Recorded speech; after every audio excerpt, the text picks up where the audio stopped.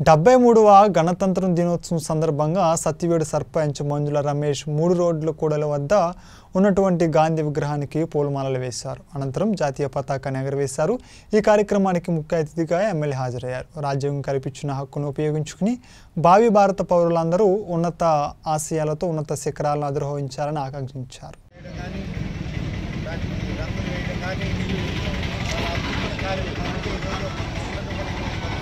Thank you. పూర్వోత్సవంగా భావిస్తూ ఏదైతే మనం పరపక్షంలో మన ముఖ్యమంత్రి రాత్రిగా పగలనగా ప్రజా సంక్షేమ అభివృద్ధికరమైన మాట్లాడుతున్నారో అదే ద్వారంలో మన గౌరవ మెంబర్లతో కూడా రాకేష్ ఆశిస్తూ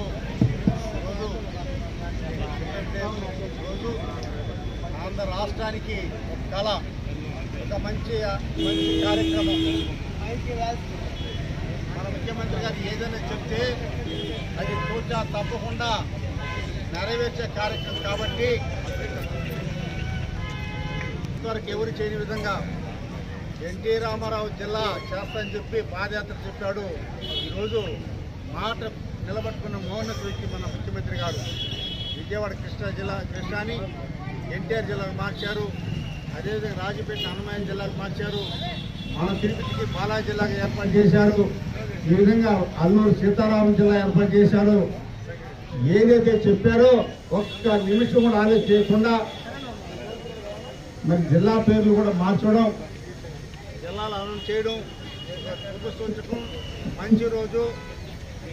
అభివృద్ధి కార్యక్రమాల్లో ఒక పునరుద్ధరణ చేయాలని తపన ఆలోచనతోనే ఈ కార్యక్రమం చేశారు. సందర్భంగా మా పార్టీ సోదరులకు ఎలక్ట్రానిక్ మీడియాకు ప్రత్యేకించి మా నాయకులకు చాలా సంతోషం. పట్టణం ఎందు ఒక మంచి కార్యక్రమం చేశారు.